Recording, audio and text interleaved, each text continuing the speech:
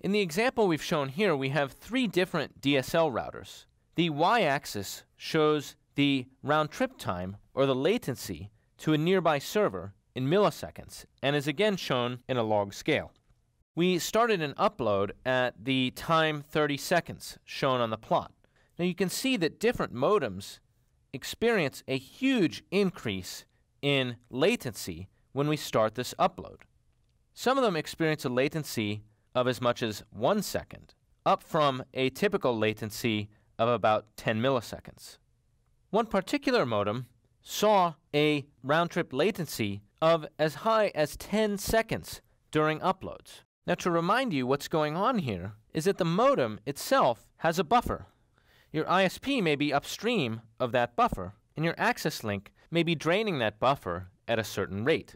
TCP senders in your home will send until they see lost packets. But if the buffer is large, the senders won't actually see those lost packets until this buffer has already filled up. The senders continue to send at increasingly faster rates until they see a loss.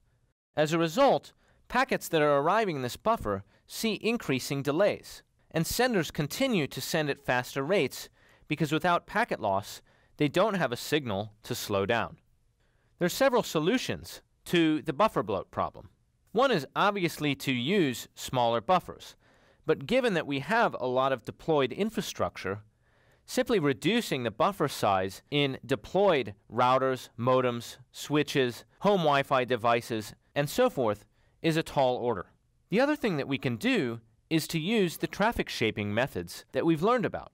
Consider that the buffer drains at a particular rate, which in this case is the rate of the uplink to the ISP. If we shape traffic such that traffic coming in to the access link never exceeds the uplink that the ISP has provided us, then the buffer will never fill.